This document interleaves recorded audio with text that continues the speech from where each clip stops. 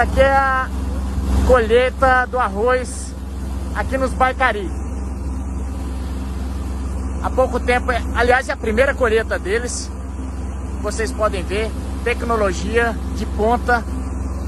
É uma nova realidade nesse governo do presidente Jair Bolsonaro.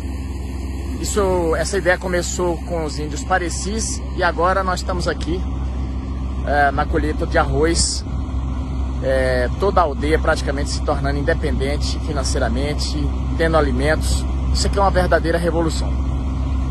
A gente só tem a agradecer ao presidente da FUNAI, ao presidente Jair Bolsonaro, porque essa parte aqui, por exemplo, já está caminhando toda para ser licenciada. Isso é uma revolução em termos de Brasil.